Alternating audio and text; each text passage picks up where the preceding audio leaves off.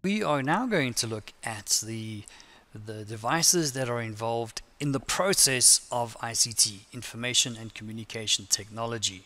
We're going to look at input, output, storage, and communication. Let's get started. So first, let's look at input.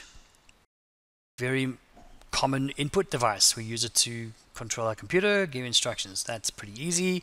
We can see that we've got the function keys here at the top, F1 through to F12. We've got the QWERTY keys here. We call this a QWERTY keyboard, QWERTY, because Q-W-E-R-T-Y. That's about it.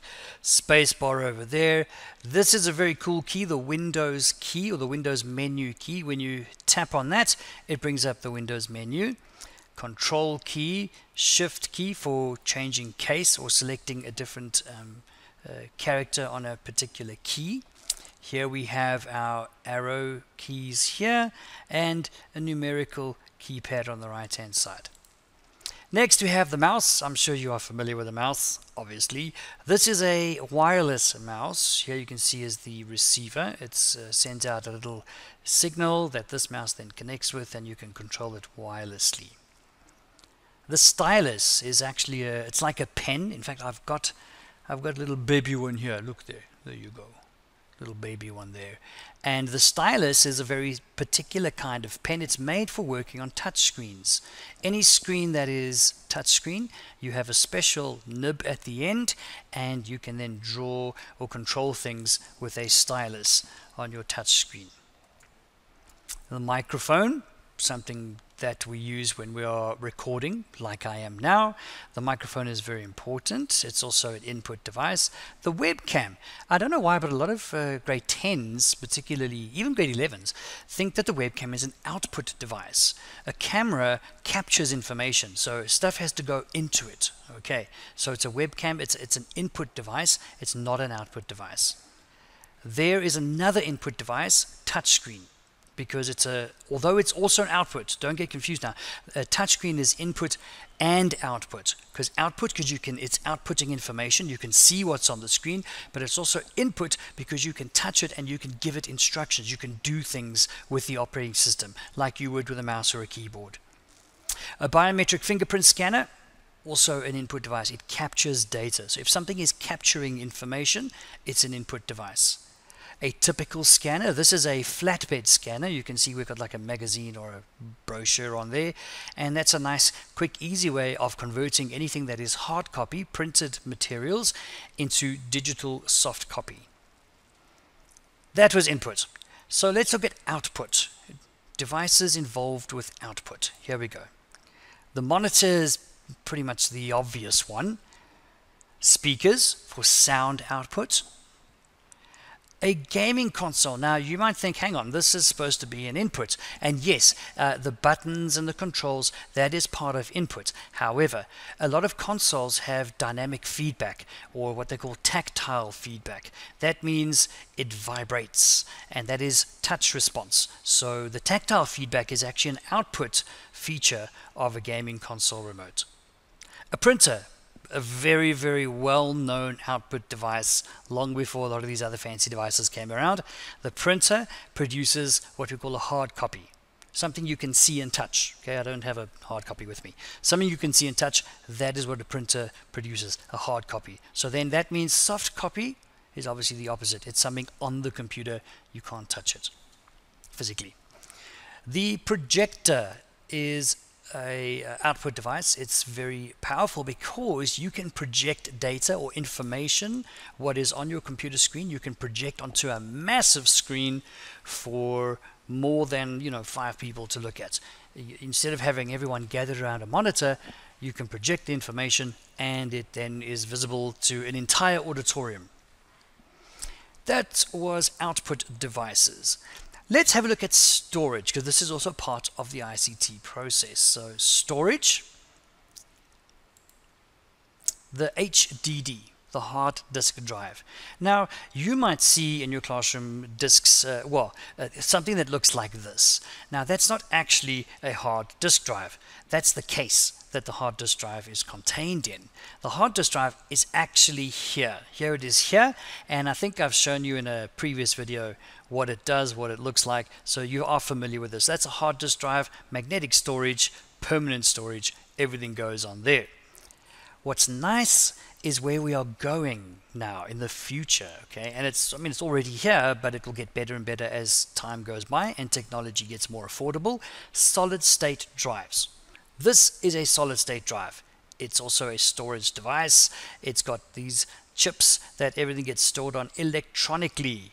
It's not a magnetic drive. No moving parts. Very quiet. You don't hear it. Very reliable and safe. You can drop it. Your data is still good to go Ah, yes, the good old staple USB memory stick, what we used to use a lot. Um, don't put your homework on stuff like this.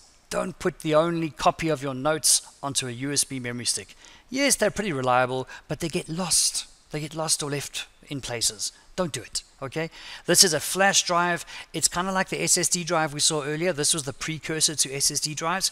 This, it's electronic storage, flash storage, whatever you want to call it, but please don't call it a USB this is not just a USB. It's a USB memory stick or a USB flash drive or a USB stick, whatever you want, but or flash drive even. Oh, I said flash drive. Sorry. So please um, don't just say, oh, it's a USB. It's a USB what? SD cards, secure digital cards started out pretty big, and as you can see, they got smaller and smaller and smaller to micro SD. Um, I think you get nano SD cards as well, even smaller. So again, another form of storage. This is also static storage, electronic, very secure, very safe, also very easy to get lost. Random access memory, we have discussed this in a previous video. This is a form of storage. However, if you remember from a previous video, it's temporary storage. Okay, it's not permanent. It's only holding whatever you're working with at the time. It's holding it in that RAM. Okay, when you are done, you save your work because if you don't save your work, the RAM gets cleared when you shut down the computer or if there's a power failure, for example. Optical discs. You've seen these. We still use them. I don't know why we still use them. We don't use them so much anymore, though. The compact discs about 700 megabytes, 750 megabytes at the most. Then we have DVD discs, digital versatile discs. Uh, they would hold 4.7 gigabytes of data. And then Blu ray discs. Blu ray is also sort of like falling away. Everything is just disappearing for better storage solutions. Again, we still have these. These are written to with a laser. Uh, laser means light. We are focusing light beams or light frequencies onto the disk and burning information onto the disk.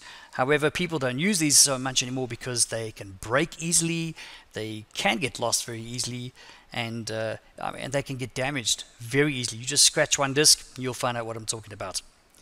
The last thing is communication. Now, with communication, I only have one device and then applications. Okay, I'll, I'll show you. Communication tools. In, in terms of information and communication technology, let's have a look. The cell phone, the smartphone. The reason I'm using the smartphone, there are other, there's tablets and laptops and things, but I'm going to show you this one because they actually all share the same features. So let's have a look at some of the communication tools in terms of software that we have available. We can email, send messages, attach files, and send those to people anywhere, anytime, anywhere in the world. Um, what's that? Oh, WhatsApp. I nearly said Skype.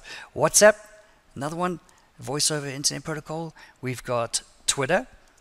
We have Google Duo for making phone calls and video calls, just like WhatsApp, so it's Google's own version. We have Instagram the bane of uh, my life. I don't even use Instagram, but hey, you go ahead, use it if you want to. Facebook. I don't think anyone uses Facebook. I use Facebook, but I'm old, so it's okay. TikTok. Never tried it, but hey, it's a very popular communication tool. A lot of teenagers are using it at the moment. It's probably going to die away in another year. You'll see. YouTube, been around for years. Fantastic, fantastic application. Put the videos on like this one. Snapchat, never used it, but again, a very popular communication tool. So, in a nutshell, that is the ICT process input, output, storage, communication, the devices that we use, and the various software applications that are involved with that.